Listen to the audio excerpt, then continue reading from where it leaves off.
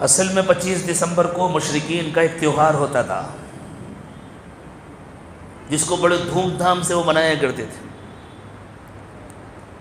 जब वो मुशरक कौमें मुशरक ईसाइत में दाखिल हुई जब ईसाइत खुद मुशरक बन चुकी थी वो उस दीन में दाखिल हुई जो दी, दीन ये कहने लगा था कि हज़रत ईसा सलाम अल्लाह के बेटे और उनके लिए इस बात को मानना आसान था। जैसे हमारे बिरादरान वतन हमसे तकाजा करते हैं ना, हमारे साथ शामिल हो जाओ। हम मोहम्मद सल्लल्लाहु अलैहि वसल्लम को भी मान लेंगे अपने बहुत सारों के साथ साथ। तो जब ईसाइत इस सांचे में ढल गई थी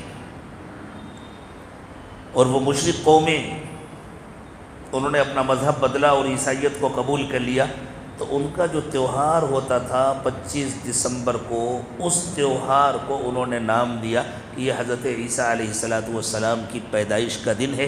और कुछ बईद नहीं है कि इसमें भी कहीं ना कहीं से उन हाथों का कोई अमल दखल रहा हो, जिन हाथों ने इस पूरी कौम को अगवा किया था।